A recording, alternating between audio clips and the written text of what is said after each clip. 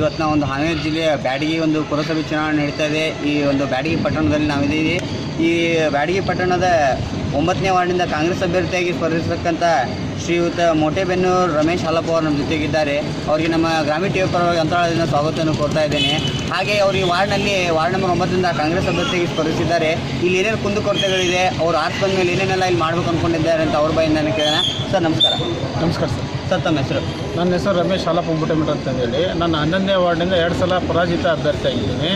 ಈ ಪರಾಜಿತ ಅಭ್ಯರ್ಥಿ ಆಗಿರೋದರಿಂದ ಇಲ್ಲಿ ಏನು ಕುಂದು ಕೊರತೆಗಳದವು ಮತ್ತು ಏನು ಇಲ್ಲಿ ಸಮಸ್ಯೆಗಳದವು ಸ್ಥಳೀಯವಾಗಿ ನಾನು ಇದೇ ಓಡನೆ ಆಗಿರೋದರಿಂದ ಮತ್ತು ಇಲ್ಲಿ ಏನು ಸ್ಥಳೀಯವಾಗಿ ಸಮಸ್ಯೆಗಳು ನೀರಿನ ಸಮಸ್ಯೆ ಇರ್ಬೋದು ಕರೆಂಟ್ ಸಮಸ್ಯೆ ಇರ್ಬೋದು ಚರಂಡಿ ಸ್ವಚ್ಛ ಮಾಡೋ ಸಮಸ್ಯೆ ಇರ್ಬೋದು. ಆಮೇಲೆ ಅನೇಕ ಎಲ್ಲ ಇಲ್ಲಿ ಸಾರ್ವಜನಿಕ ಕೆಲಸದೊಳಗೂ ನಾನು ಇಲ್ಲೇ ಉಡನಾಗಿ ಇಲ್ಲಿ ನಮ್ಮ ಗಣಪತಿ ಇದರಿಂದನೂ ನಾವು ಹೆಚ್ಚಿಗೆ ಇಲ್ಲಿ ಸಾರ್ವಜನಿಕರು ಕೆಲಸ ಮಾಡ್ತೀವಿ ಯಾವುದೇ ತೊಂದರೆ ಇದ್ದರೂ ನಾವು ಅವ್ರು ಕರೆಕ್ಟ್ಲೇ ವಿತಿನ್ ಮಿನಿಟ್ನಾಗ ನಾವು ಅವ್ರು ಹೋಗಿ ಸ್ಪಂದನೆ ಮಾಡ್ತೀವಿ. ಇಲ್ಲಿ ಜನ ನಮಗೆಲ್ಲ ಒಳ್ಳೆ ಒಳ್ಳೆ ಹುಡುಗ. ಒಳ್ಳೆ ಅಭ್ಯರ್ಥಿ ಅಂತಂದೇಳಿ ನನಗೆ ಎಲ್ಲ ಜನ ಇಲ್ಲಿ ಸಪೋರ್ಟ್ ಮಾಡ್ತಿದ್ದಾರೆ. ಪಕ್ಷಾತೀತವಾಗಿ ಎಲ್ಲರೂ. ಸರ್ ಇಲ್ಲಿ ವಾರ್ಡ್ ನಂಬರ್ ನೀವು ಎರಡು ಬಾರಿ ಸೋತಿದ್ರಿ ವಾರ್ಡ್ ನಂಬರ್ ಏಳರಿಂದ ಅಲ್ವಾ? ಇಲ್ಲಿ ವಾರ್ಡ್ ನಂಬರ್ ಹನ್ನೊಂದರಿಂದ ಎರಡು ಬಾರಿ ಸೋತಿದ್ರಿ. ಈ ಬಾರಿ ವಾರ್ಡ್ ನಂಬರ್ ಒಂಬತ್ತರಿಂದ ಸ್ಪರ್ಧಿಸಿದ್ದೀರಾ. ಇಲ್ಲಿಯ ಸಮಸ್ಯೆಗಳ ಬಗ್ಗೆ ತಾವು ಯಾವ ರೀತಿ ತಿಳ್ಕೊಂಡಿದ್ದೀರಾ ಸರ್? ಇಲ್ಲಿ ಏನು ಸಮಸ್ಯೆಗಳಿದ್ದಾವೆ ಇಲ್ಲಿ ಮೇನ್ ಸಮಸ್ಯೆ ಅಂದರೆ ನೀರಿನ ಸಮಸ್ಯೆ ಚರಂಡಿ ಕ್ಲೀನ್ ಮಾಡೋದು ಮತ್ತು ಮೂರನೇದಾಗಿ ಇಲ್ಲಿ ಏನು ಜನರ ಸಾಮಾನ್ಯರ ಜನಸಾಮಾನ್ಯರು ಭಾಳ ಅದಾರೆ. ಇಲ್ಲಿ ಮಿಡ್ಲ್ ಕ್ಲಾಸ್ ಎಲ್ಲ. ಅವ್ರಿಗೆ ಸ್ಪಂದನೆ ಆಗುವಂಥ ಎಲ್ಲ ಕಾರ್ಯಕ್ರಮಗಳು ಅವ್ರಿಗೂ ಏನಾರೇ ಇರಲಿ ಅವರು ಅವರೆಲ್ಲ ನಾನು ಸ್ಪ- ಸ್ಪಂದನೆ ಮಾಡ್ತೀವಿ. ಸಂತಿ ಮೈದಾನ. ಓಕೆ ಸರ್ ಆಮೇಲೆ ಇಲ್ಲಿ ವೈಯಕ್ತಿಕ ಮಿಡ್ಲ್ ಕ್ಲಾಸ್ ಜನ ಫ್ಯಾಮಿಲಿ ತುಂಬ ಕಮ್ಮಿ ಇದ್ದಾರೆ ಅಂತ ಹೇಳಿದ್ರಿ. ಇಲ್ಲಿ ಏನಾದರೂ ಆಶ್ರಯ ಪ್ಲಾಟ್ಗಳು ಆ ಥರ ಏನಾದ್ರು ಮನೆ ಕಟ್ಟಿಸೋ ಯೋಜನೆ ಏನಂತ ಹೌದು ರೀ ಸರ್ ಈಗ ನಮ್ಮ ಬಸವರಾಜ ಶಿವಣ್ಣ ಅವರು ಐದುನೂರು ಡುಪ್ಲೆಕ್ಸ್ ಮನೆಗಳನ್ನು ಇದು ಮಾಡಿದ್ದಾರೆ. ಈಗ ಅದರೊಳಗೆ ನಾನು ಒಬ್ಬ ಕಾರ್ಯ ಕಾಂಗ್ರೆಸ್ ಕಾರ್ಯಕರ್ತನಾಗಿ ನಮ್ಮ ಓಣಿಗೆ ಒಂದು ಹತ್ತು ಮನೆಗೆ ನಾನು ರೆಫರೆನ್ಸ್ ಮಾಡಿದ್ದೇನೆ ಅವ್ರಿಗೆ. ಅವರು ಅವರು ಇಲ್ಲಿ ಅಭ್ಯರ್ಥಿ ಇದ್ದರು ಅವರು ಯಾರೋ ಏನೋ ಅವ್ರಿಗೆ ಸ್ಪಂದನೆ ಮಾಡಿದ್ದಿಲ್ಲ ಇದೇ ನಮ್ಮ ವಿರೋಧ ನಾ ಬಸವಣ್ಣಪ್ಪ ಛತ್ರದವರು ಅವ್ರ ಕಡೆ ವಿನಂತಿ ಮಾಡಿಕೊಂಡ್ರು ಅವ್ರೇನು ರೆಸ್ಪಾನ್ಸ್ ಮಾಡಿಲ್ಲ ಅವ್ರಿಗೆ. ಸರ್ ತಮ್ಮ ಇಲ್ಲಿ ನೇರ ಸ್ಪರ್ಧೆ ಇದೆ ನಿಮ್ಮ ಜೊತೆಗೆ ಒಬ್ಬ ಹಾಲಿ ಅಧ್ಯಕ್ಷರು ಆಮೇಲೆ ಹಾಲಿ ಮೆಂಬರ್ ಆದಂಥವ್ರು ಇದ್ದಾರೆ ಅವ್ರ ಜೊತೆ ತಾವು ಯಾವ ರೀತಿ ಪೈಪೋಟಿನ ಮಾಡ್ತಾ ಇದ್ದಾರೆ ಸರ್ ಇಲ್ಲಿ? ಇಲ್ಲಿ ಪೈಪೋಟಿ ನೇರ ಸ್ಪಂದನೆ ಇದೆ. ಇಲ್ಲಿ ಅವರು ಬೇರೆ ವಾರ್ಡ್ ಆಗಿರೋದ್ರಿಂದ ಅವರ ಜನರ ಸ್ಪಂದನೆಗೆ ಅವ್ರಿಗೆ ಅವ್ರಿಗೆ ಇಲ್ಲ.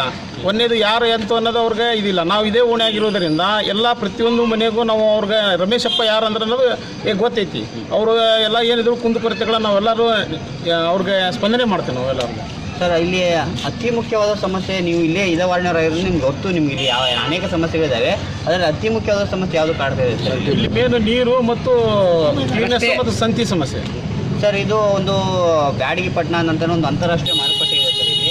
ಒಂದು ವೇಳೆ ನೀವು ಈ ಪಟ್ಟಣ ಪಂಚಾಯತಿ ಚುನಾವಣೆಯಲ್ಲಿ ಚುನಾಯಿತರಾಗಿ ಈ ಒಂದು ಪುರಸಭೆ ಅಧ್ಯಕ್ಷನಾದರೆ ಈ ಪಟ್ಟಣಕ್ಕೆ ತಾವು ಯಾವ ರೀತಿಯ ಏನೇನು ಕೊಡುಗೆ ಕೊಡ್ಬೋದು ಸರ್?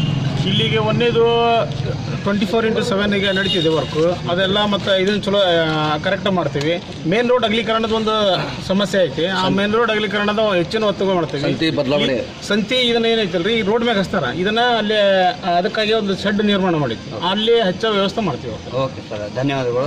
ಇಷ್ಟೊತ್ತವರೆಗೂ ತಮ್ಮ ಅಂತರಾಳದ ಮಾತುಗಳನ್ನ ನಮ್ಮ ಜೊತೆ ಹಂಚ್ಕೊಂಡಿದ್ದಕ್ಕೆ ಶ್ರೀಯುತ ಮೋಟೆಬೆನ್ನೂರು ರಮೇಶ್. ಹಾಲಪ್ಪ ಅವರಿಗೆ ಧನ್ಯವಾದಗಳನ್ನು ಸಲ್ಲಿಸ್ತಾ ಇದ್ದೀನಿ. ಅದೇ ರೀತಿ ಇಲ್ಲಿ ವಾರ್ಡ್ ನಂಬರ್ ಒಂಬತ್ತರ ಅನೇಕ ಜನ ಮತದಾರ ನಮ್ಮ ಜೊತೆಗಿದ್ದಾರೆ. ಅವರ ಅಭಿಪ್ರಾಯ ಯಾವ ರೀತಿ ಇದೆ ಅಂತ ಕೇಳೋಣ. ಸರ್ ನಮಸ್ಕಾರ. ಸರ್ ತಮ್ಮ ಹೆಸರು? ಚೆಮ್ಮಣ್ಣ ಮಾಜಿ ಮಾಜಿ ಪುರಸಭೆ ಅಧ್ಯಕ್ಷರು. ತಾವು ಮಾಜಿ ಪುರಸಭೆ ಅಧ್ಯಕ್ಷ ಕೂಡ ಆಗಿದ್ದೀರಾ? ಈಗ ವಾರ್ಡ್ ನಂಬರ್ ಒಂಬತ್ತರ ಮತದಾರ ಆಗಿದ್ದೀರಾ? ತಾವು ಮಾಡಿರ್ತಕ್ಕಂಥ ಕೆಲಸಗಳೇನು ಸರ್ ಪುರಸಭೆಯಲ್ಲಿದ್ದಾಗ? ಮಾಜಿ ಅಧ್ಯಕ್ಷ ಕಟ್ಸಿದ್ವಿ ವಾಜಪೇಯಿ ಓಕೆ. ರೋಡ್ ಮಾಡಿಸಿದ್ವಿ. ಲೈಟ್ ಎಲ್ಲ ಮಾಡಿಸಿದ್ವಿ ದೇವಸ್ಥಾನದಲ್ಲಿ ಕಾಂಕ್ರೀಟ್ ಬೋರ್ ಹೊಡಿಸಿದ್ವಿ. ಸಂಜೆ ಒಳಗೆ ಯಾವ ರೋಡ್ ಅದಾವ ಅಷ್ಟು ಕಾಂಕ್ರೀಟ್ ಮತ್ತು ಜನರಿಗೆ ಏನು ಕುಂದ್ಕೊಡ್ತೀವಿ ಎಲ್ಲ ನೋಡ್ಕೊಂಡಿದ್ದೆ ಹಿಂದಿನ ಪೀಳಿನಲ್ಲಿ ಸರ್ ತಾವು ಇವಾಗ ರಮೇಶ್ ಅವರಿಗೆ ಒಂದು ತಮ್ಮ ಎಲ್ಲ ಬೆಂಬಲವನ್ನು ಸೂಚಿಸ್ತಾ ಇದ್ದಾರೆ? ಏನು ಕಾರಣ ಇರ್ಬೋದು ಸರ್ ಇವ್ರಿಗೆ ನೀವು ಬೆಂಬಲ ಸೂಚಿಸಕ್ಕೆ ಎರಡು ಸತ್ಯ ನಾನು ಕುತ್ಕೊಂಡು ಸೋತದ್ದ? ನನ್ನ ಮಣ್ಣಲ್ಲಿ ಬಗ್ಗೆ ನಾವು ಮಾಡಿಕೊಡ್ತೀನಿ ಅಂತ ಮಾಜಿ ಅಧ್ಯಕ್ಷರಾಗಿ ಅವನ್ನ ತಂದು ಗೆಲ್ಸಕ್ಕೆ ಇಲ್ಲಿ ಇಲ್ಲಿ ವಾರ್ಡ್ ನಂಬರ್ ಒಂಬತ್ತು ಎಲ್ಲರ ಅನುಕಂಪ ಇವ್ರ ಮೇಲೆ ಇದೆ ಅಂತ ಹೇಳ್ಬೋದು ಒಂದ್ ವೇಳೆ ಇವ್ರು ಏನಾದ್ರು ಆರ್ಟ್ಸ್ ಬಂದ್ರೆ ನಿಮ್ಮೆಲ್ಲ ಕೆಲಸಗಳನ್ನ ಮಾಡ್ಕೊಡ್ತಾರೆ ಭರವಸೆಯಿಂದ ಭರವಸೆ ನಮ್ಮಲ್ಲಿ ಇದೆ ಸರ್. ಮನೆ ಮಗ ಆಗಿ ಮನಿ ಮಗ ದುಡ್ತಾನೆ ಅಂತ ಹೇಳ್ತಾರೆ? ಓಕೆ ಸರ್ ಧನ್ಯವಾದಗಳು. ಇಲ್ಲಿ ಇಲ್ಲಿ ಮಾತಾಡ್ತಾರೆ ಸರ್ ನಮಸ್ಕಾರ ಸರ್ ತಮ್ಮ ಹೆಸರು? ಪ್ರಕಾಶ್ ಆ, ಸರ್ ವಕೀಲರ. Okay sir. ತಾವು ಒಬ್ಬ ವಕೀಲರಾಗಿದ್ದೀರಾ? ಇಲ್ಲಿ ಬ್ಯಾಡಗಿ ಪಟ್ಟಣದಲ್ಲಿ ಆಮೇಲೆ ವಾರ್ಡ್ ನಂಬರ್ ಒಂಬತ್ತರ ಮತದಾರ ಇದ್ದೀರಾ? ಇಲ್ಲಿ ಏನು ಸಮಸ್ಯೆ ಕಾಡ್ತಾ ಇದೆ ಸರ್ ಪ್ರಮುಖವಾಗಿ ತಮ್ಮಲ್ಲಿ ಪ್ರಮುಖವಾಗಿ ಈ ವಾರ್ಡ್ಗೆ ಹೊಂದ್ಕೊಂಡಂಗೆ ಸಂತೆ ಮೈದಾನದಲ್ಲಿ ಇಲ್ಲೇನು ಜನರಿಗೆ ತೊಂದರೆ ಪ್ರತಿ ಶನಿವಾರ. ಈ ಇಲ್ಲಿ ಬಹಳ ಸಾರ್ವಜನಿಕರಿಗೆ ತೊಂದರೆ ಆಗ್ತೈತಿ. ಟ್ರಾಫಿಕ್ ಆಗ್ತೈತಿ. ಈ ಹಿಂದಿರ್ತಕ್ಕಂಥ ಅಧ್ಯಕ್ಷರಾಗಲಿ ಮತ್ತು ಈ ಹಿಂದಿರ್ತಕ್ಕಂಥ ಪುರಸಭೆ ಸದಸ್ಯರಾಗಲಿ ಅದ್ರ ಬಗ್ಗೆ ಕ್ರಮ ತಗೊಂಡಲ್ಲ. ಮತ್ತು ಅದ್ರ ಬಗ್ಗೆ ಜನರಿಗೆ ಅನುಕೂಲ ಆಗೋಂಥ ಒಳ್ಳೆಯ ಯೋಜನೆಗಳನ್ನು ಇದನ್ನು ಪಡಿಸಿಲ್ಲ. ಮತ್ತು ಈ ಹಿಂದೆ ನಮ್ಮ ಬಸವರಾಜ ಶಿವಣ್ಣ ಶಾಸಕರಾಗಿದ್ದಾಗ ಟ್ವೆಂಟಿ ಫೋರ್ ಇಂಟು ಸೆವೆನ್ ಮತ್ತು ಕಾಮಗಾರಿ ವರ್ಕ್ ಈ ಯು ಜಿ ಡಿ ವರ್ಕ್ ಮತ್ತು ಬ್ಯಾಡಗಿಗೆ ಅನೇಕ ಒಂದು ಆಶ್ರಯ ಮನೆಗಳನ್ನು ಹೆಚ್ಚು ಕೊಡ್ಲಿಕ್ಕೆ ಹೆಚ್ಚು ತಂದು ಕೊಡಲಿಕ್ಕೆ ತರದಹಳ್ಳಿ ರಸ್ತೆಯಲ್ಲಿ ಒಂಬತ್ತು ಎಕರೆ ಜಮೀನು ತಗೊಂಡು ಆ, ಹತ್ತು ಎಕರೆ ಜಮೀನು ತಗೊಂಡು ಎಲ್ಲ ಬಡ ಒಂದು ಕುಟುಂಬಕ್ಕೆ ಒಂದು ಆಶ್ರಯ ಮನೆಯನ್ನು ಮಂಜೂರು ಮಾಡ್ತಕ್ಕಂಥ ಯೋಜನೆಯನ್ನು ಇಟ್ಕೊಂಡಾರ ಆ ಒಂದು ಇದ್ರ ಮೇಲೆ ಮತ್ತು ಒಳ್ಳೆಯ ಯುವಕರದಾರ ನಮ್ಮ ರಮೇಶ್ ಮುಟ್ಟೆಬಂದರವರು ಅವರು. ಒಂದು ಇದ್ರ ಮೇಲೆ ನಾವು ಮಾತಾಡ್ತೀವಿ ಕೇಳ್ತೀವಿ ಓಕೆ ಸರ್. ರಮೇಶ್ ಮೇನವರೇ ತಮ್ಮ ಸಪೋರ್ಟ್ ಇದೆ ಸರ್. ಹೌದು. ಓಕೆ ಇಲ್ಲಿ ವಾರ್ಡ್ ನಂಬರ್ ಒಂಬತ್ತರ ಮತ್ತೊಬ್ಬ ಮತದಾರರು ನಮ್ಮ ಜೊತೆಗಿದ್ದಾರೆ. ಅವರ ಅಭಿಪ್ರಾಯ ಯಾವ ರೀತಿ ಇದೆ ಅಂತ ಕೇಳೋಣ. ಸರ್ ನಮಸ್ಕಾರ. ನಮಸ್ಕಾರ. ಸರ್ ತಮ್ಮ ಹೆಸರು? ನಮ್ಮ ಹೆಸರು ಶಂಭು ಮಠದ ಅಂತೇಳಿ. ನಾವು ಇಲ್ಲಿ ಸಮಸ್ಯೆ ಅಂದ್ರೆ ದೊಡ್ಡ ಸಮಸ್ಯೆ ಇಲ್ಲಿ. ಸಂತಿದು ಭಾಳ ಸಮಸ್ಯೆ ಐತ್ರಿ. ಸಂತಿ ಮೈದಾನ ಇದ್ರೂ ಸದ್ಯ ಸುಸಜ್ಜಿತವಾಗಿ ಎಲ್ಲ ವ್ಯವಸ್ಥೆ ಇದ್ರು ಸಹಿತ ಇಲ್ಲಿ ರೋಡಿನೊಳಗೆ ಸಂತಿ ಹಚ್ತಾರೆ ಹಚ್ಚೋದ್ರಿಂದ ಭಾಳ ತೊಂದರೆ ಆಗತ್ತಂತ ಹಲವಾರು ಸಾರಿ ಪುರಸಭೆಗೆ ಮನವಿ ಕೊಟ್ಟರು ಸಹಿತ ಪುರಸಭೆ ಅಧ್ಯಕ್ಷರಿದ್ದಂಥ ಈ ನಮ್ಮ ಈ ಕ್ಯಾಂಡಿಡೇಟ್ ಅಂತ ಬಸವರಾಜ್ ಛತ್ರದವರು ಸಹ ಅವ್ರಿಗೂ ಕೂಡ ಬ ಹಲವಾರು ಬಾರಿ ನಾವು ಮನವಿ ಮಾಡಿದ್ರು. ಅವ್ರು ಯಾವುದೇ ಥರದಂಥ ಒಂದು ನಿರ್ಧಾರ ಕ್ರಮವನ್ನು ತಗೊಳ್ಳಿಲ್ಲ. ದಯವಿಟ್ಟು ಎಲ್ಲ ಮತದಾರರು ನಾವು ಈಗ ಏನು ಮಾಡಾಕತ್ತವ್ರಿ ಅಂತಂದ್ರೆ ನಮ್ಮ ಸ್ನೇಹಿತರಾದಂಥವ್ರು ಒಳ್ಳೆ ಯುವಕರದಾರ ಎಲ್ಲ ಕೆಲಸ ಮಾಡ್ತಾರ. ಆಮೇಲೆ ಹಲವಾರು ಬಾರಿ ನಾವೇನು ಹೇಳಿದೆವು ಇಲ್ಲಿ ವಾಜಪೇಯಿ ರಂಗಮಂದಿರ ಊರ ಮಧ್ಯಭಾಗದಲ್ಲಿ ಒಂದು ಗ್ರಂಥಾಲಯ ಬೇಕಂತೇಳಿ ಎಲ್ಲರಿಗೂ ಹೇಳಿದ್ವಿ ಗ್ರಂಥಾಲಯದ ಭಾಳ ಅವಶ್ಯಕತೆ ಇದೆ ಯಾಕೆ ಎಲ್ಲ ಓದ ಓದಂಥ ಮತದಾರ ಬಾಂಧವ ಮತ ಓದಂಥ ವಿದ್ಯಾರ್ಥಿಗಳದಾರ ಆಮೇಲೆ ಹಿರಿಯರು ಅದಾರ ಇದು ಒಂದು ಈ ಚೌಡಿ ಅನ್ನೋದು ಏನೈತಲ್ರಿ ಬ್ಯಾಡಗಿಯ ಒಂದು heart of heart of city ಇದ್ದಂಗೆ ಐತ್ರಿ. ಈ ಒಂದು ಇದೇನೈತಲ್ರಿ ಇದು ವಾಜಪೇಯಿ ರಂಗಮಂದಿರ ಈ ರಂಗಮಂದಿರದ ಮೇಲೆ ನಿಂತ್ಕೊಂಡು ನಿಂತ್ಕೊಂಡು ಹೋದಂಥ ಅಥವಾ ಎಲ್ಲ ಹೋದಂಥ ಇವತ್ತು ಮಾಜಿ ಪ್ರಧಾನಿಗಳಾದಂಥ ದೇವೇಗೌಡರು ಇಲ್ಲಿ ಬಂದು ಭಾಷಣ ಮಾಡಿ ಹೋಗಿದ್ದಾರೆ. ಅಂಥ ಒಂದು ಶಕ್ತಿ ಕೇಂದ್ರ ಇದು. ಈ ಶಕ್ತಿ ಶಕ್ತಿ ಕೇಂದ್ರನ ಇಲ್ಲಿಯೇ ಮತದಾರರು ಇಲ್ಲೇ ಉಳಿಸಬೇಕು ಅಂತಂದು ಎಲ್ಲರ ಅಪೇಕ್ಷೆ ಐತಿ. ಯಾಕಂದ್ರೆ ಮತ್ತೆ ಬೇರೆ ವಾರ್ಡಿನಂಥ ವ್ಯಕ್ತಿಗೆ, ವ್ಯಕ್ತಿಗಳಿಗೆ ಕೊಡಬಾರ್ದು ಅಂತಂದು ಎಲ್ಲ ನಮ್ಮ ಈ ಒಂಬತ್ತನೇ ವಾರ್ಡಿನ ಮತದಾರರು ಮನದ, ಮನದಲ್ಲಿ ಮೂಡಿಸ್ಕೊಂಡಾರ್ರಿ. ಅದಕ್ಕೆ ಅವ್ರು, ಅವರೆಲ್ಲರೂ ಇಲ್ಲಿಯವರಾದಂಥ, ಇಲ್ಲೇ ಎದ್ದು ಬಿದ್ದು ಇರ್ತಕ್ಕಂಥ ರಮೇಶ್ ಮೊಟೆಬಿಂಡರವನ್ನು ಆರಿಸಿ ತರ್ತಾರೆ ಅಂಥೇಳಿ ಈ ಮೂಲಕ ತಮ್ಮಲ್ಲಿ ವಿನಂತಿ ಮಾಡ್ಕೊಳ್ತೀನಿ. ತಮ್ಮ ತರಬೇಕಂತ ಹೇಳಿ ಎಲ್ಲ ಮತದಾರರಲ್ಲಿ ಮತ್ತೊಮ್ಮೆ ಮಗೊಮ್ಮೆ ಕೈ ಮುಗಿದು ನಾವು ಬೇಡ್ಕೊಳ್ತೇನೆ ರೀ ಇನ್ನೊಂದು ಏನಂತಂದ್ರೆ ಇಲ್ಲಿ ಈ ಓಣಿ ಏನೈತೆ ಅಂತಂದ್ರೆ ರೀ ರಹೀಮ್ ಅದನ ಆಮೇಲೆ ಹಿಂದ್ ದ್ಯಾಮವದಾಳ್ರಿ ಎಲ್ಲರೂ ಎಲ್ಲ ಒಂದು ಸರ್ವ ಧರ್ಮದ ಒಂದು ಓಣಿ ಇದ್ದಂಗೆ ಐತ್ರಿ. ಎದಕ್ಕೆ ಈ ಓಣಿ ಸಹಿತ ನಾವು ಹೆಸರು ಬೇರೆ ಚೇಂಜ್ ಮಾಡೋಣ ಅಂತಾನು ಹೇಳಿದ್ವಿ. ಏನಂತಂದ್ರೆ ನಮ್ಮ ಪಾಟೀಲ್ ಪುಟ್ಟಪ್ಪನವರು ಇಲ್ಲೇ ಇಲ್ಲೇ ಓದಿ, ಇಲ್ಲೇ ಬೆಳೆದು ಹೋಗಿದ್ದಾರೆ. ಅಂತ ಒಂದು ದೊಡ್ಡ ಧೀಮಂತ ವ್ಯಕ್ತಿ ಒಂದು ಹುಬ್ಬಳ್ಳಿಯ ಹುಲಿ ಅಂತ ಹೇಳ್ಬೋದು, ನಮ್ಮ ಬ್ಯಾಡಗಿಗೆ ಅವರಿಗೂ ಕೂಡ ಅವಿನಾಭಾವ ಸಂಬಂಧ ಐತಿ ಅವರು, ಅವರ ಹೆಸರಿಟ್ಟು ಒಂದು ಪಾಟೀಲ್ ಒಂದು ಬೀದಿ ಅಂತ ಹೇಳಿ ಇದನ್ನ ನಾಮಕರಣ ಮಾಡ್ಬೇಕಂತೇಳಿ ನಾವು ಹಲವಾರು ಬಾರಿ ಪುರಸಭೆ ಅಧ್ಯಕ್ಷರಿಗಾಗಲಿ, ಅಲ್ಲಿ ಇರ್ತಕ್ಕಂಥ ಎಲ್ಲರಿಗೂ ವಿನಂತಿ ಮಾಡ್ಕೊಂಡ್ವಿ. ಇಲ್ಲಿ ತನಕ ಯಾವುದು ಆಗಿಲ್ಲ. ಅದಕ್ಕೆ ನಮ್ಮವರೇ ಆದಂಥ ಈ ರಮೇಶ್ ಮೊಟ್ಟೆಬಣ್ಣರು ಅವರನ್ನು ನಾವು ಎಲ್ಲ ಆರಿಸಿ ಕಳಿಸಿದರೆ ನಮ್ಮೆಲ್ಲ ಬೇಕು ಬೇಡಿಕೆಗಳನ್ನು ಈಡೇರಿಸ್ತಾರ ಅಂತೇಳಿ ಮತ್ತೊಮ್ಮೆ ಮುಗದೊಮ್ಮೆ ನಮ್ಮ ಈ ಒಂಬತ್ತನೇ ವಾರ್ಡಿನ ಮತದಾರ ಬಂದವ್ರಲ್ಲಿ ಬಂದವರಲ್ಲಿ ವಿನಂತಿ ಮಾಡ್ಕೊಳ್ತಾ ಇದ್ದೀನಿ. ಇನ್ನೊಂದು ಏನಪ್ಪ ಅಂತಂದ್ರೆ ಇಲ್ಲಿ ಶೌಚಾಲಯದ ಸಮಸ್ಯೆ ಇದೆ. ಅದನ್ನು ಕೂಡ ನಾವು ಹೇಳಿದ್ವಿ. ಇಲ್ಲಿ ಹನುಮಂಡ ಐತಲ್ರಿ ಸಂತಿ ಮೈದಾನದಲ್ಲಿ ಒಂದು ಸುಸಜ್ಜಿತವಾದ ಶೌಚಾಲಯವನ್ನು ಕಟ್ಟಿಸ್ರಿ ಅಂತಂದು ಅದನ್ನು ಹೇಳಿದ್ವಿ. ಅದನ್ನು ಮಾಡ್ತೀವಿ ಅಂತ ಹೇಳಿ ದಾಪಕಲ್ ಅಂತ ಬಂದಿದ್ದಾರೆ. ಹೀಗಾಗಿ ಅದನ್ನು ನೆರವೇರಿಸ್ಬೇಕಂತೇಳಿ ನಾವು ಮತ್ತೊಮ್ಮೆ ಮಗದೊಮ್ಮೆ ಆ, ಕೇಳ್ಕೊಳ್ತಾ ಇದ್ದೇವೆ ಅಂತ ಹೇಳ್ತೀವಿ. ಇನ್ನೂ ಹಲವಾರು ಸಮಸ್ಯೆಗಳೇನಿದಾವೆ ಸಮಸ್ಯೆಗಳಿಗೆ ಸ್ಪಂದಿಸುವಂಥ ವ್ಯಕ್ತಿ, ಜನರ ಒಡನಾಡಲ್ಲಿ ಮನಸ್ಸಿನಲ್ಲಿ ಇರ್ತಕ್ಕಂಥ ವ್ಯಕ್ತಿ ಅಂದರೆ ರಮೇಶ್ ಮೊಟೆಬಣ್ಣರವರು ಅಂತ ನಾವು ಹೇಳ್ಬೋದು. ಅದಕ್ಕೋಸ್ಕರ ಅವರನ್ನು ನೀವೆಲ್ಲರೂ ಒಂಬತ್ತನೇ ಒಡೆಯ ಮತದಾರರು ಅಕ್ಕ ತಂಗಿಯರು, ಅಣ್ಣ ತಮ್ಮಂದಿರು, ಸ್ನೇಹಿತರು, ಬಂಧು ಬಳಗ, ಬಂಧು ಬಳಗದವರು, ಆಮೇಲೆ ಎಲ್ಲರೂ ಕೂಡ ಅವನ್ನ ವೋಟ್ ಹಾಕೋದ್ರ ಕಾಂಗ್ರೆಸ್ ಪಕ್ಷದ ಚಿಹ್ನೆಗೆ ವೋಟ್ ಹಾಕೋದ್ರ ಮೂಲಕ ಅವನ್ನ ಆರಿಸಿ ತಂದು ಈ ತಮ್ಮೆಲ್ಲರ ಸೇವೆ ಮಾಡ್ಕೊಡ್ಬೇಕ, ಮಾಡ್ಕೊಡ್ಬೇಕಂದೇಳಿ ತಮ್ಮಲ್ಲಿ ವಿನಂತಿ ಮಾಡ್ಕೊಳ್ತಾ ಇದ್ದೀವಿ. ಓಕೆ ಸರ್, ಧನ್ಯವಾದಗಳು ಸರ್. ವಾರ್ಡ್ ನಂಬರ್ ಒಂಬತ್ತರ ತಾವು. ಹೇಳಿ ಸರ್ ಇಲ್ಲಿ ಅನೇಕ ಸಮಸ್ಯೆಗಳನ್ನ ಇಲ್ಲಿ ನಿಮ್ಮ ಒಬ್ಬ ಆತ್ಮೀಯ ಸ್ನೇಹಿತರು ಹೇಳಿದ್ರು ಇಲ್ಲಿ ಅನೇಕ ಸಮಸ್ಯೆಗಳಿದೆ ಅಂತೇಳಿ.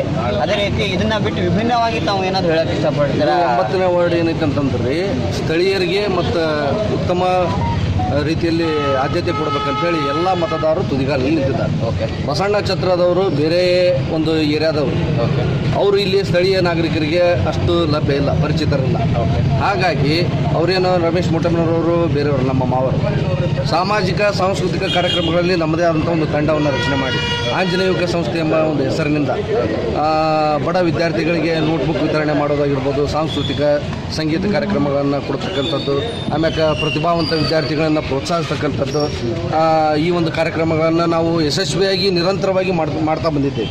ಹಾಗಾಗಿ ಇಲ್ಲಿಯ ಸ್ಥಳೀಯ ಸಮಸ್ಯೆಗಳನ್ನು ಗುರಿಯಾಗಿಟ್ಟುಕೊಂಡು ಸ್ಥಳೀಯ ವ್ಯಕ್ತಿಗೆ ಮೊದಲ ಆದ್ಯತೆಯನ್ನು ಇಲ್ಲಿನ ಮತದಾರರು ಕೊಡ್ತಾರೆ.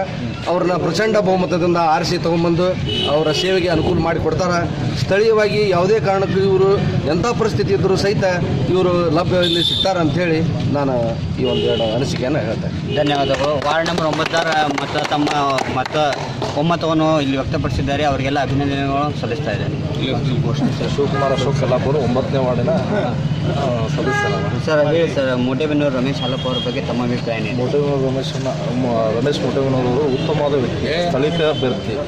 ಆಮೇಲೆ ಬಡ ಬಡ ಜೀವ ಬಡ ಜೀವ ಬಡ ಕುಟುಂಬದಂತ ಬಂದವರು. ಹೌದಾ? ಅವರು ಯಾವಾಗಲೂ ಜನರ ಸಮಸ್ಯೆಗೆ ವ್ಯ- ವ್ಯಕ್ತಪಡಿಸ್ಯಾರ. ಸು ಸುದೀರ್ಘವಾಗಿ ಜನರ ಸೇವೆದೊಳಗೆ ಅದಾರ ಆಮೇಲೆ ಈಗ ಬಸಣ್ಣ ಛತ್ರದವರು ಆಲ್ರೆಡಿ ಏಳನೇ ವಾರ್ಡ್ ಆರನೇ ವಾರ್ಡ್ ಆಗೈತಿ ಅದು ಸಾಮಾನ್ಯನೇ ಐತಿ ಈಗ. ಸಾಮಾನ್ಯದೊಳಗೆ ನಿಲ್ಬೋದಿತ್ತು ಅವರು. ಅವ್ರು ಕೆಲಸ ಮಾಡಿ ನಾ ಅಧ್ಯಕ್ಷ ಸ್ಥಾನದೊಳಗೆ ಇದ್ದು, ನಾ ಕೆಲಸ ಮಾಡಿ ಅನ್ನೋದು ಅದ ವಾರ್ಡ್ನ ನಿಂತು ನಿಂತು ತೋರಿಸ್ಬೇಕತ್ತು ಅವರು ವಾರ್ಡ್ ಬಿಟ್ಟು ವಾರ್ಡಿಗೆ ಬಂದಾರ, ಒಂಬತ್ತನೇ ವಾರ್ಡಿಗೆ ಬಂದಾರ. ಸಾಮಾನ್ಯ ಇಲ್ಲಿ ಸಾಮಾನ್ಯ ಐತಿ, ಆ ವಾರ್ಡ್ ಬಿಟ್ಟು ಈ ವಾರ್ಡಿಗೆ ಬಂದಾರ. ಅವ್ರು ಹಂಗೆ ಒಂಬತ್ತನೇ ವಾರ್ಡಿಗೆ ಬಂದಾರ ಅಂದ್ರೆ ಅವ್ರು ಹೆಂಡ, ಕಂಡ, ರೊಕ್ಕಕ್ಕೆ, ಮೋಜಿಗೆ, ಮಸ್ತಿಗೆ ಯಾರೋ ಮತದಾರರು ಗುರಿ ಆಗ್ಬಿಟ್ರಿ. ಉತ್ತಮವಾದ ಕ್ಯಾಂಡಿಡೇಟ್ನ ನಮ್ಮ ರಮೇಶ್ ಮುಟೇಮ್ನವ್ರನ್ನ ಆರ್ಸಕ್ಕೆ ಪ್ರಯತ್ನ ಪಡ್ರಿ ನಾವು ಇದೇ ಸಂತಿ ಸಂಬಂಧನ ಒಂದು ಪ್ರಾಜೆಕ್ಟ್ ರೆಡಿ ಮಾಡಿ ಅಪ್ಸ್ಟೇರ್ ಮಾಡಿಕೊಡ್ರಿ. ನಿಮ್ಗೆ ಅಧಿಕಾರ ಐತಿ. ಎರಡೂವರೆ ಎರಡೂವರೆ ವರ್ಷ ಎರಡೂರು ವರ್ಷ ಅಧ್ಯಕ್ಷ, ಅಧ್ಯಕ್ಷದೊಳಗಿದ್ರು ಅವರು. ಅವ್ರು ಒಂದು ಮನವಿ ಕೊಟ್ಟಿವಿ ನಾವು. ಅವ್ರು ಅದ್ರ ಅದಕ್ಕೆ ಏನು ಪ್ರ, ಪ್ರತಿಕ್ರಿಯೆ ನೀಡಲಿಲ್ಲ. ಅವ್ರು ಅದನ್ನೇನು, ಒಯ್ದು ಎಲ್ಲಿಟ್ರ ಏನೋ ಇವತ್ತಿನವರೆಗೂ ಬಯಲಿಗೆ ಬರಲಿಲ್ಲ. ಅದು ಅಂಥ ಕೆಲಸನ ಮಾಡಿಲ್ಲ ಅಂದ್ರೆ ಇವ್ರೇನು ಜನರ ಸೇವೆ ಮಾಡ್ತಾರೆ ಅನ್ನೋದು ನಮ್ಮ ಮನೋ ಮನೋಭಾವನೆ ಐತಿ ರಮೇಶ್ ಮಠವನವರನ್ನ ಪ್ರಚಂಡ ಬಹುಮತದಿಂದ ಆರಿಸಿ ತರಬೇಕನ್ನಲ್ಲಿ ನಮ್ಮಲ್ಲಿ ವಿನಂತಿ ಇದೆ. ಓಕೆ ಧನ್ಯವಾದ. ನಮ್ಮ ಹೆಸರು ನಾಗರಾಜ್ ಸಿದ್ದರಾಮ ಪಡಗಿ ಅಂತಂದು ಕಳೆದ ಇಪ್ಪತ್ತ್ಮೂರು ವರ್ಷದ ಹಿಂದೆ ಏಳು ಒಂದು ತೊಂಬತ್ತಾರು ಚುನಾವಣೆಯಲ್ಲಿ ಪಕ್ಷೇತರ ಅಭ್ಯರ್ಥಿಯಾಗಿ ಇದೇ ಹದಿಮೂ ಈಗೇನು ಒಂಬತ್ತನೇ ವಾರ್ಡ್ ಡಿವಿಷನ್ನು ಈಗ ಮೊದಲು ಹದಿಮೂರು ಡಿವಿಷನ್ ಇತ್ತು ಈಗ ಒಂಬತ್ತಾಗಿದೆ. ಅವತ್ತಿನ ದಿವಸದಿಂದಲೂ ನನ್ನ ಪಕ್ಷೇತರ ಅಭ್ಯರ್ಥಿಯಾಗಿ ಪ್ರಚಂಡ ಬಹುಮತದಿಂದ ಅದ್ದೂರಿಯಾಗಿ ಇವರೆಲ್ಲರೂ ನನ್ನನ್ನು ಆರಿಸ್ಕೊಂಡ್ರು ನಮ್ಮ ವಿಶ್ವಾಸ ಆ ವಿಶ್ವಾಸಕ್ಕೆ ನಾನು ಏನೂ ಒಂದು ಚುಟ್ಟಿ ಬರದ ಹಾಗೆ ಇವ್ರ ಜೊತೆ ನೋಡ್ತೀನಿ ಅವತ್ತಿನಿಂದ ಹಿಡಿದು ಇವತ್ತಿನವರೆಗೆ ಇಲ್ಲಿವರೆಗೆ ಅದನಿ. ಈಗೂ ಇರ್ತಾನೆ. ಈ ಚುನಾವಣೆಯಲ್ಲಿ ಎಲ್ಲ ನನ್ನ ಹದಿಮೂರನೇ ಡಿವಿಷನ್ ಆಗಲಿ ಇದು ಒಂಬತ್ತನೇ ಡಿವಿಷನ್ ಆಗಿದೆ. ಎಲ್ಲ ನನ್ನ ಮತ ಮತದಾರ ಬಾಂಧವರಲ್ಲಿ ಅತ್ಯ ಅಮೂಲ್ಯವಾಗಿ ಚ ಇದು ಕೇಳಕ್ಕಿಂತ ಮತ ಎಲ್ಲರಿಗೆ. ದಯವಿಟ್ಟು ರಮೇಶ್ ಹಾಲಪ್ಪ ಮೂಟೆಯವರ ಪಕ್ಕ ಪ ಹಸ್ತದ ಗುರುತಿಗೆ ಚಿಹ್ನೆಗೆ ಮತ ನೀಡಿ ಪ್ರಚಂಡ ಬಂದು ಆರಿಸಿ ತರಲಿಕ್ಕೆ ನಾನು ಶತಾಯಗತಾಯ ಪ್ರಯತ್ನ ಮಾಡ್ತೀನಿ ಅಂತಂದು ಹೇಳ್ತೀನಿ. ರಮೇಶ್ ಬೋಟೆ ಅವ್ರಿಗೆ ಇದು ಒಂದು ಮಂಡ್ಯ ಎಲೆಕ್ಷನ್ ಆದಂಗ ಆಕತ್ರಿ ಸರ್ ಇದು. ಬರ್ರಿ ಮುಂದಕ್ಕೆ ಬರ್ರಿ ಗೌಡ್ರು ಮಾತಾಡ್ತಾರೆ ಕೇಳಿ ವಾರ್ಡ್ ನಂಬರ್ ಒಂಬತ್ತರ. ಒಬ್ಬ ಮತ್ತೊಬ್ಬ ಮತದಾರ ನಮ್ಮ ಜೊತೆಗಿದ್ದಾರೆ ಅನೇಕ ಜನ ಅವರು ತಮ್ಮ ತಮ್ಮ ಭಿನ್ನ ಅಭಿಪ್ರಾಯಗಳನ್ನ ನಮ್ಮ ಜೊತೆ ಹಂಚಿಕೊಂಡಿದ್ದಾರೆ. ಒಬ್ಬೊಬ್ಬರ ಅಭಿಪ್ರಾಯ ಒಂದೊಂದು ಥರ ಇದೆ. ಮತ್ತೊಬ್ಬ ಮತದಾರ ಇದ್ದಾರೆ ಅವರ ಅಭಿಪ್ರಾಯ ಯಾವ ರೀತಿ ಇದೆ ಅಂತ ಕೇಳೋಣ. ಸರ್ ನಮಸ್ಕಾರ. ನಮಸ್ಕಾರ. ಸರ್ ತಮ್ಮ ಹೆಸರು? ಉಮೇಶ್ ಚಂದ್ರಶೇಖರ್ ಹಲಂಗೌಡ ಹೇಳಿ ಸರ್. ಇವರು ರಮೇಶ್ ಅವ್ರ ಬಗ್ಗೆ ಅಥವಾ ರಮೇಶ್ ಅವ್ರ ಬಗ್ಗೆ ಅವರು ಹಿಂದೆ ಎರಡು ಸಲ ಸೋತಿದ್ದಂಥ ಅಭ್ಯರ್ಥಿಗಳು. ಈ ಸಲಿನ ಅವ್ರನ್ನ ಬಹುಮತದಿಂದ ಆರಿಸಿ ತರಬೇಕು. ಇಪ್ಪತ್ತ್ಮೂರು ವಾರ್ಡ್ ಬ್ಯಾಡಗಿ ಒಳಗೆ ಏನಿದಾವಲ್ಲ ಇದು ಹೈಲೈಟ್ಸ್ ಮಾಡ್ಬೇಕಂತೇಳಿ ನಾವು ಪ್ರಯತ್ನ ಮಾಡ್ತೇವೆ. ಓಕೆ ಓಕೆ ಧನ್ಯವಾದಗಳು. ಮಂಡ್ಯ ಎಲೆಕ್ಷನ್ಗಿಂತನೂ ರೋಚಕ ರೋಚಕ ಎಲೆಕ್ಷನ್ ಈ ಒಂದು ಗಾಡಿಗೆ ಎರಡು ಸಲ ಸೋತರು ಅವರು ಜನಸಂಪರ್ಕ ಬಿಟ್ಟಿಲ್ಲ. ಇದನ್ನ ಮಂಡ್ಯ ಎಲೆಕ್ಷನ್ಗಿಂತ ಹೈಲೈಟ್ಸ್ ಮಾಡಿ ತೋರಿಸ್ಬೇಕಂತ ನಾವು ಬಣ ತೊಟ್ಟೆ ಓಕೆ ಸರ್ ಧನ್ಯವಾದ